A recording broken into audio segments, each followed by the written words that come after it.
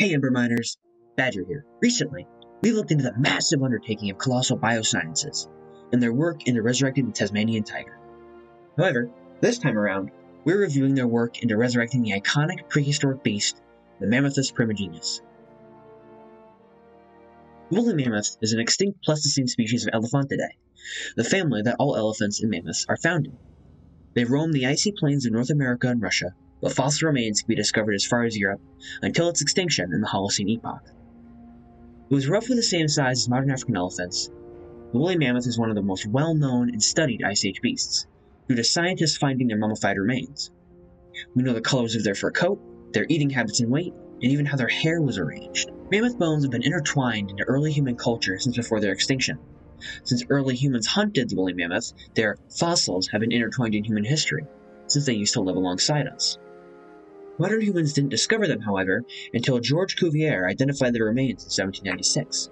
They were not classified as Mammuthus primigenius, the woolly mammoth, until 1799. It is unknown exactly why they went extinct, but science suggests a mix of changing climate, terrain, and overexploitation from humans, or even possibly disease. While the titanic mammoth we all know and love went extinct an incredibly long time ago, their descendants, the Red Island dwarf mammoths, went extinct only 5,000 years ago. Colossal is a United States-based genetics company founded in 2021 that intends to prevent climate change and restore destroyed environments by reviving the species humanity is responsible for bringing to extinction. Entrepreneur and CEO Ben Lamm and Harvard geneticist Dr. George Church work with dozens of scientists and geneticists to recreate the complete genetic codes of dozens of extinct species. In 2018, before Colossal's founding, Dr. Church and Eriona Hysolli, member of his lab, sorry for butchering your name, made an expedition to Chersky, Siberia, their goal was to find woolly mammoth bones and observe what the mammoth steppe once was. After traveling to Yakutsk, they acquired a substantial amount of mammoth tissue samples, allowing for a greater depth of research on the similarities between mammoths and their closest living relative, the Asian elephant.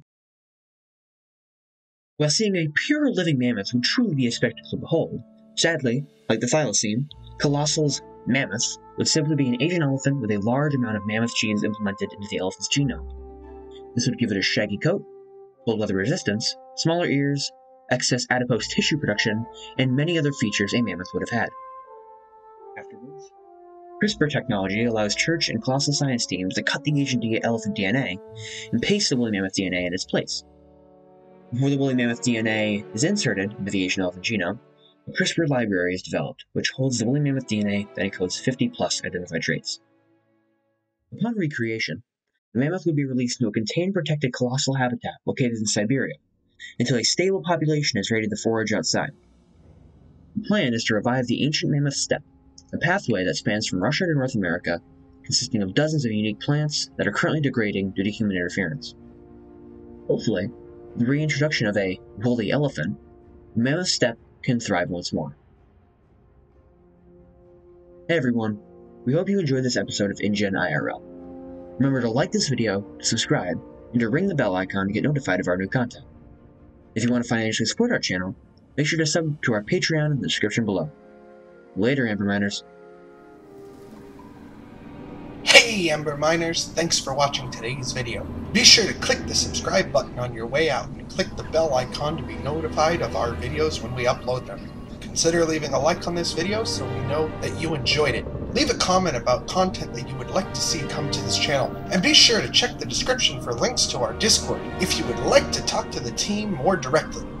Check out our Patreon if you would like to help fund the team and its upcoming projects. Remember, this is a fan group reviewing the depths of our favorite franchise, and that we are in no way affiliated with the groups and companies that own them. Be sure to support Universal Studios and Amblin Entertainment. This has been an Amber Mine production. Thank you for mining with us.